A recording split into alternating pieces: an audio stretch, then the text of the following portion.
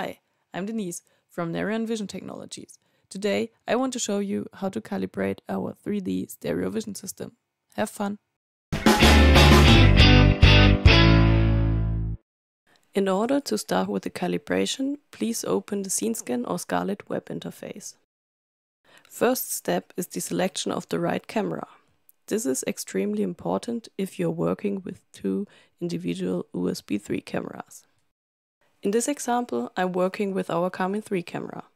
If you're using two USB 3 cameras, please double check in the calibration preview if left and right camera are recognized correctly. Otherwise, you can switch them here. Now we select the right presets.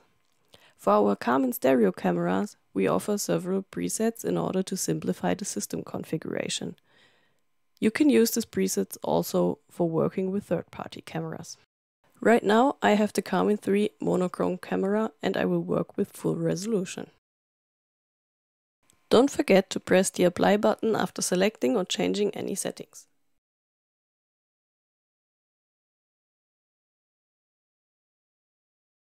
Now it's time for the actual calibration.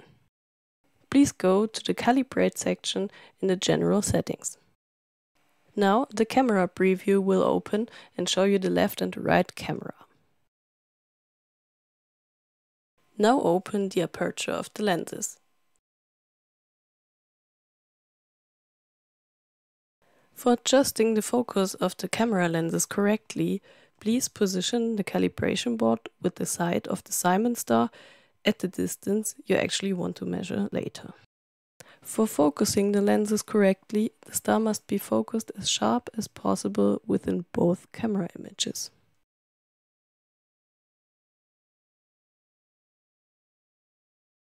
After focusing the camera lenses, please make sure you select the right size of the calibration board.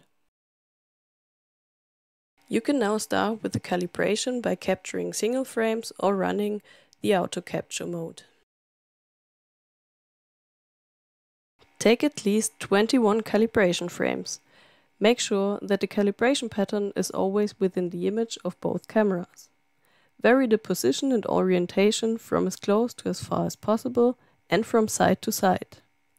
And make sure you cover well the corners of the camera images. Now click the calibration button. The calibration takes several minutes, which you might use for getting another coffee. Once the calibration has finished, make sure the reprojection error is below 0.2 pixels.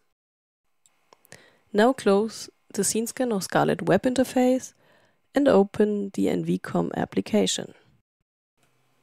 yeah, congrats! Your system is now ready for capturing 3D data.